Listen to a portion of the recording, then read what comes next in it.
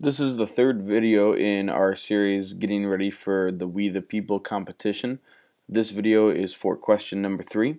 Take a moment now and make sure that you are at our Moodle site for Mr. Chambers government class. If you need to, pause the video at this point and get to the website.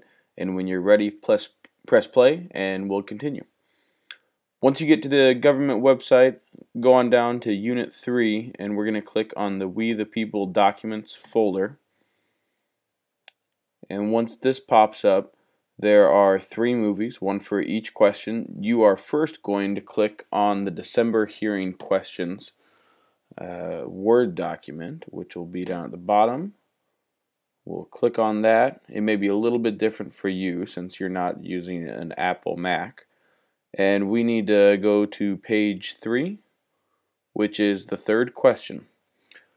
So basically what we have here, we have your prompt, we have the main topic, kind of a summary, and you have some text that you should be familiar with as you do your research in addition to what you find in your textbook and through your other research. You have some key terms, and then at the end here, we'll add in uh, a couple key things that you really need to make sure that you do in order to answer this question well. Let's start off by just reading through the question, making sure that you know how to pronounce everything, and seeing if there are any words that we might have an issue with. Number three, what was the Great Compromise and why was it such a contentious issue at the Philadelphia Convention? So let's look at this first part here. The Great Compromise uh, and there's some more information later in the in the review here. But the Great Compromise was called the Great Compromise because it led to the ratification of the Constitution. You had big states and you had small states, and they had a disagreement about how many representatives each state should get. The bigger states thought that it should be based on population because then they would get more representatives.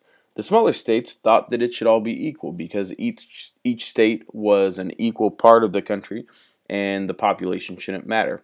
The Great Compromise split the legislative branch into two branches, where one, the House of Representatives, the representation was based on state size. So that's why a state like California, which has a much larger population, gets more representatives than a state like Missouri, which gets fewer representatives.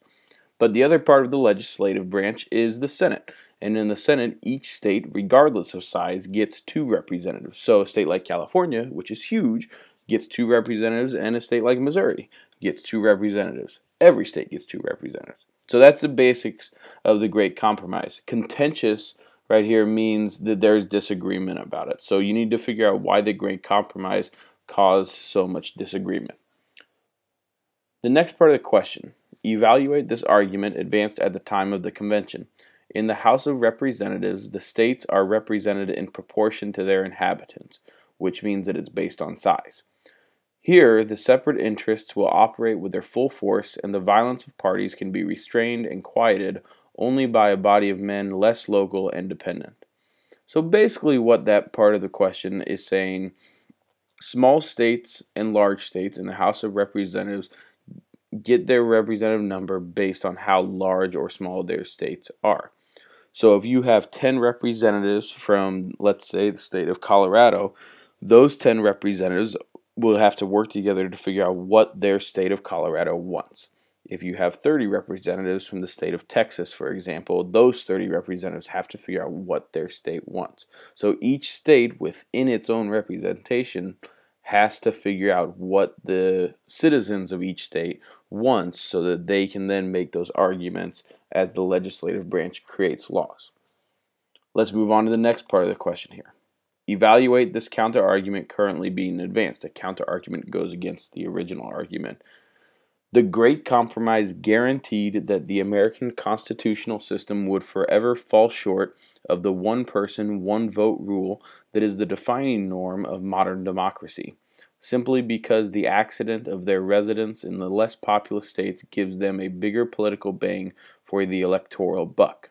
Now, this part of the question is arguing against the Senate because it states that a really small state, let's say New Hampshire on the East Coast, a very small state, it gets the same amount of representation in the United States Senate as a really big state like Texas. The idea of one person, one vote is a very important idea in a democracy. it is essentially that a democracy is a democracy because each individual gets one vote for representation. So there's nothing that can make one individual more important than another individual. But this argument tries to make the point that residents in a state like New Hampshire actually get more than one vote for one person because in their really, really tiny state, they get the same amount of representation as the really big states.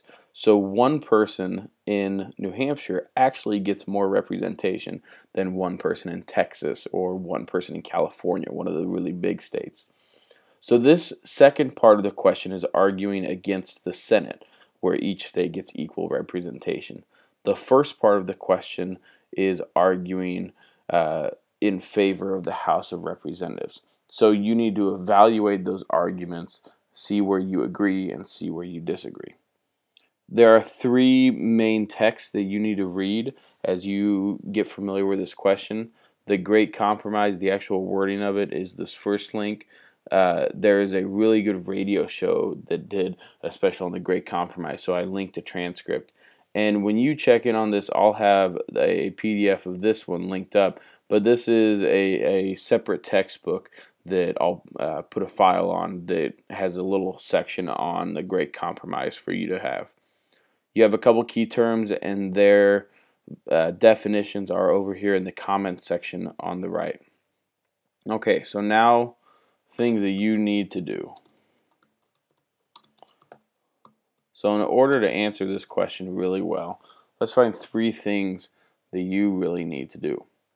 The first thing that you really need to do is you need to show that you understand the great compromise and what it is. The judges are going to look for you to describe what the great compromise is and why it's important. And you'll probably have to answer a question or two on what the founders were thinking when they created the great compromise. So show that you understand the great compromise and why it is important.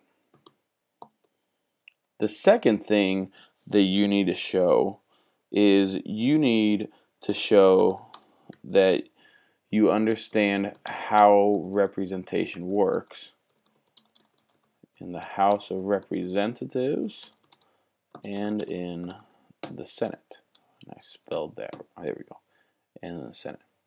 And then the third thing you need to do is you need to take a stand. And this is going to be a really important part of your four minute presentation. Once you show that you understand the Great Compromise, and once you show that you understand the House and the Senate, show or take a stand. Which do you agree with? Do you think that uh, there should be equal representation, such as we see in the Senate? Or should representation be based on the population? Which is what we see in the House of Representatives. And you need, you need to make an argument for which one of those makes more sense, uh, or if you think that the current system that we have makes the most sense. So that's question number three. Good luck. Make sure you use all your resources. And as always, if you have any questions, please don't hesitate to ask.